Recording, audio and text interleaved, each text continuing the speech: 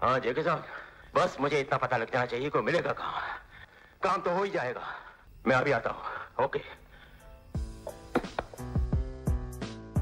अपने मिलने की मुश्किल तो मैंने आसान कर दी है बलवंत। माफ़ कर दो मुझे।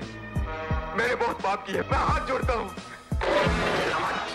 आखिरी ख्वाहिश तो अब मैं तुम्हारी पूछूँगा। बलवंत भाई मेरी समझ में ये नहीं आता कि तुम कमीने ज़्यादा हो या बेवकूफ़।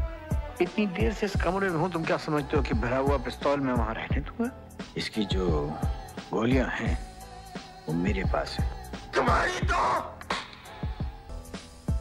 मैंने ठीक ही कहा था बलवंत। तुम कमीने ज़्यादा हो या बेवकूफ़ इसका फैसला करना बहुत मुश्किल है। वो गोलियाँ जो मैंने तुम पर फेंकी थी वो इस पिस्तौल की नहीं थी।